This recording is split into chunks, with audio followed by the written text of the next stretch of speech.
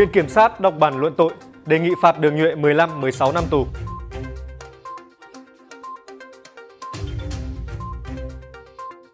Người dân Bình Dương tắt điện, thắp nến tưởng niệm người qua đời vì Covid-19.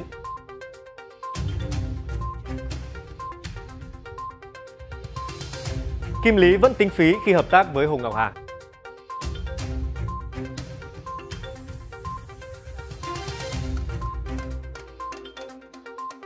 Xin chào các độc giả của báo điện tử VTC News. Quý vị đang theo dõi bản tin tổng hợp được phát sóng vào lúc 20 giờ trên báo điện tử VTC News và các nền tảng số của chúng tôi. Sau đây là tin nóng chúng tôi vừa cập nhật. Ngày 18 tháng 11, có 10.223 ca COVID-19 mới, thành phố Hồ Chí Minh, Hà Giang và Tây Ninh tăng số mắc. Bản tin dịch COVID-19 ngày 18 tháng 11 của Bộ Y tế cho biết có 10.223 ca mắc COVID-19 tại 60 tỉnh, thành phố. Thành phố Hồ Chí Minh, Hà Giang và Tây Ninh tăng số mắc. Trong ngày có 6.723 ca khỏi và 139 trường hợp tử vong. Tính từ 16 giờ ngày 17 tháng 11 đến 16 giờ ngày 18 tháng 11, trên hệ thống quốc gia quản lý ca bệnh COVID-19 ghi nhận 10.223 ca nhiễm mới, trong đó 14 ca nhập cảnh và 10.209 ca ghi nhận trong nước, tăng 370 ca so với ngày trước đó. Tại 60 tỉnh, thành phố, có 5.454 ca trong cộng đồng. Các tỉnh, thành phố ghi nhận ca bệnh như sau: Thành phố Hồ Chí Minh 1609, Bình Dương 686, Tây Ninh 632, Tiền Giang 622, Đồng Nai 563, Đồng Tháp 515, An Giang 510, Bà Rịa Vũng Tàu 423, Sóc Trăng 343, Bình Thuận 333, Bạc Liêu 314, Vĩnh Long 314, Kiên Giang 304, Hà Giang 235, Hà Nội 202, Trà Vinh 194, Bình Phước 189, Bến Tre 184, Cà Mau 158, Khánh Hòa 135, Cần Thơ 130, Hậu Giang 122, Đắk Lắk 118, Lâm Đồng 95, Thừa Thiên Huế 91, Thái Bình 85, Long An 82, Bình Định 82, Bắc Ninh 78, Quảng Nam 73, Gia Lai 68, Nghệ An 61, Điện Biên 59, Vĩnh Phúc 56, Quảng Ngãi 51, Bắc Giang 49, Nam Định 47, Thanh Hóa 46, Ninh Thuận 45, Đắk Nông 41, Hà Tĩnh 31, Quảng Ninh 31, Đà Nẵng 26, Phú Yên 25, Tuyên Quang 25, Quảng Bình 20, Cao Bằng 19, Hải Dương 16, Phú Thọ 15, Hà Giang 12, Hưng Yên 10, Sơn La 8, Lạng Sơn 6, Quảng Trị 5, Lào Cai 5, Hải Phòng 5, con Tum 2, Hòa Bình 2, Thái Nguyên 1, Yên Bái 1. Các địa phương ghi nhận số ca nhiễm giảm nhiều nhất so với ngày trước đó. Bình Thuận giảm 156, Đồng Nai giảm 101, Kiên Giang giảm 92.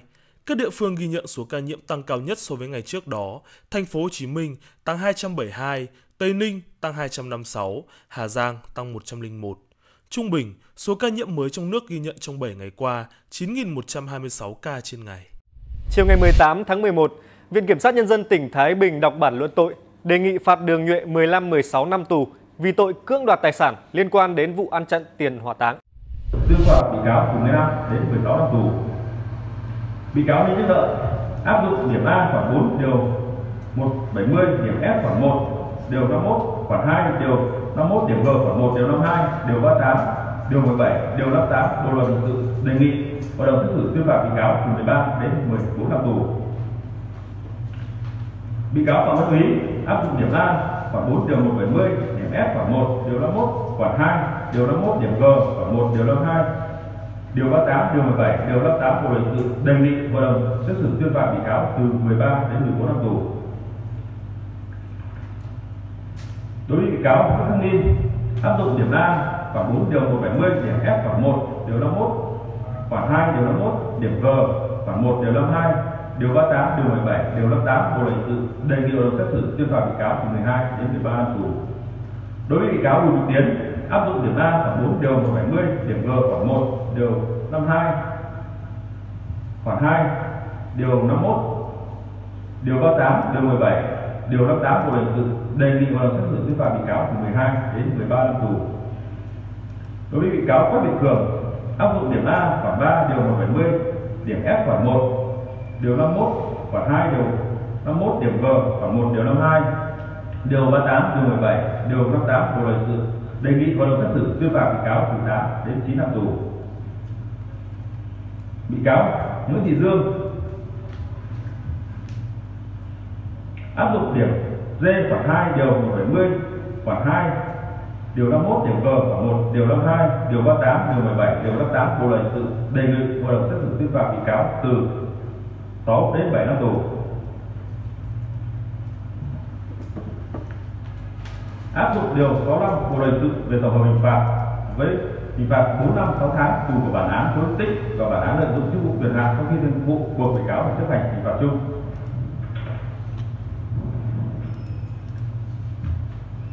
Và đối với bị cáo Nguyễn Xuân Đường, đề nghị áp dụng khoản bộ khoản 5 điều 170 bộ luật hình sự, đề nghị tuyên phạt tiền đối với bị cáo mức từ 50 đến 70 triệu đồng. Về xử lý vật chứng của vụ án và đồ vật thu giữ, áp dụng điều 47 bộ luật hình sự, điều 106 bộ luật tố tụng hình sự, đề nghị tịch thu thu quỹ nhà nước một chiếc điện thoại Samsung J2 màu vàng là có số các email, một là 352 405 095 797853 và email 2 là 352 406 095 797 851 do chị Thù Thị Tươi giao nộp. Đây là chiếc điện thoại dùng để nhận và báo cáo cao hỏa táng. Kẻ giết chủ nợ, đốt xác phi tang, vợ bị cáo vì thương chồng mà phạm tội. Sáng 18 tháng 11, Tòa án Nhân dân tỉnh Hải Dương mở phiên xét xử sơ thẩm vụ vợ chồng Cao Tài Năng và Vũ Thị Mừng sát hại chủ nợ, đốt xác phi tang vào ngày 28 tháng 11 năm 2020.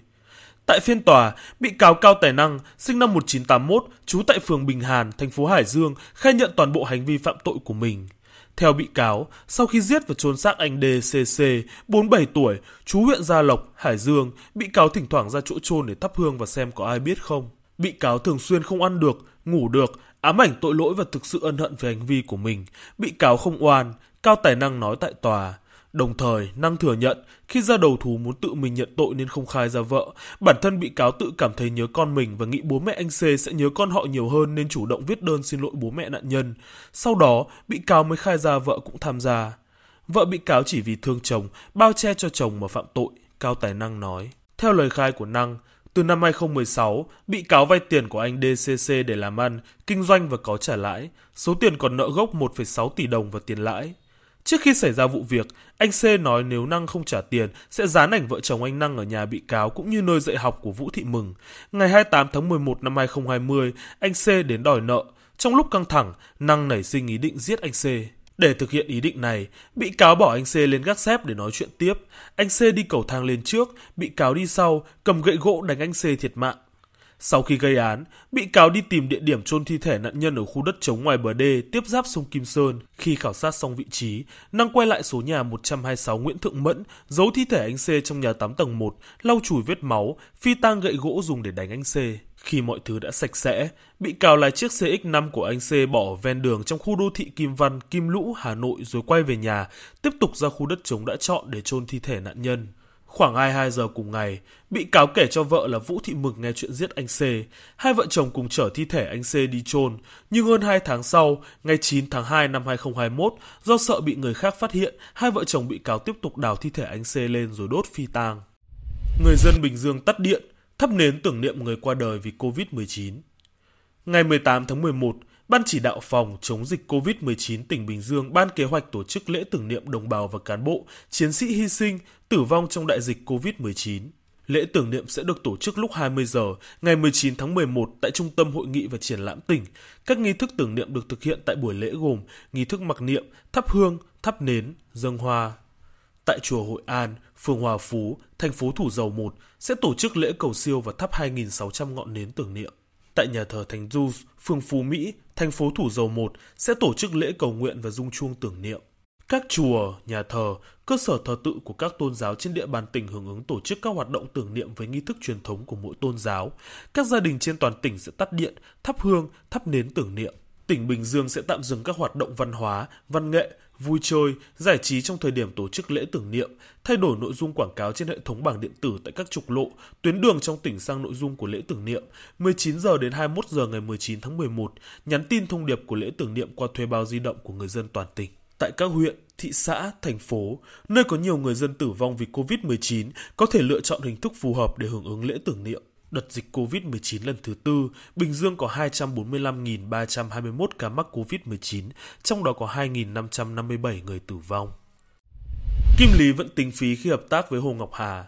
Mới đây khi cùng lộ diện trong sự kiện livestream diễn ra vào tối 17 tháng 11, cặp đôi vàng của showbiz Việt tiếp tục khiến cộng đồng mạng xôn xao. Được biết, đây cũng là sự kiện đầu tiên của hai vợ chồng tham gia với tư cách hoàn toàn khác biệt khi trở thành đối tác kinh doanh. Xuất hiện trên sóng live stream, Hồ Ngọc Hà nhanh chóng trở thành tâm điểm chú ý. Không quá ngạc nhiên khi nữ hoàng giải trí nhận được vô vàn lời khen từ phong cách thời trang đến sắc vóc đều vô cùng chuẩn chỉnh. Ngoài ra, cô cũng tiết lộ bất ngờ thú vị về Kim Lý. Hồ Ngọc Hà cho hay là ông xã nhưng khi cả hai là đối tác kinh doanh thì vẫn có tính phí làm ăn để sòng phẳng trong công việc. Chia sẻ này của nữ ca sĩ thực sự là điều không ai ngờ tới. Về phía Kim Lý, anh đã không khiến bà xã thất vọng khi nói tiếng Việt sành sỏi, khoe trình độ phát âm đã tiến bộ hơn nhiều. Tuy tương tác trong công việc là thế, nhưng Kim Lý và nữ ca sĩ vẫn dành cho nhau những cử chỉ, lời nói ngọt ngào, chứng tỏ sự kết hợp ăn ý khiến nhiều khán giả ngưỡng mộ. Cô còn chia sẻ, ngoài việc dành thời gian cho thiên thần song sinh là Lisa và Leon, cả hai đều có những giây phút rất vui vẻ và hạnh phúc khi chăm sóc cho nhau. Vận dụng mẹo dân gian do ông cha ta truyền thụ lại, kết hợp với cách làm hay, độc đáo và mới lạ, người dân ở huyện Châu Phú, tỉnh An Giang đã dùng bẫy để bắt chim bìm bịp nhằm bảo vệ gà và vịt con trong nhà khỏi bị loài chim này tấn công.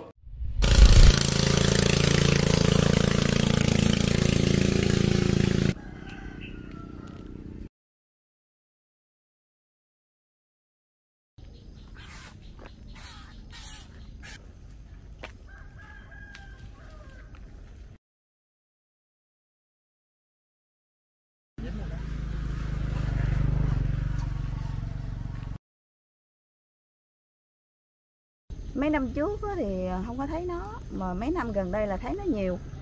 Nhiều quanh năm luôn. Có con bìm bịp mồi hoặc là ốc này nè mình để vô. Nó thấy là nó xà vô. Bìm bịp mồi á thì nó kêu nó nghe nó tiếng kêu cái đầu nó xà vô cái cái cái, cái lục này sập xuống là dính. Còn không á thì nó thấy ốc này là nó xà vô nó lụm nó ăn.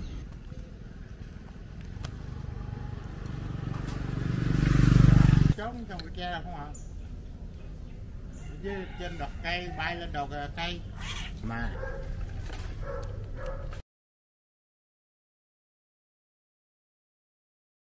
Vừa rồi là những thông tin đáng chú ý trong ngày được chúng tôi cập nhật.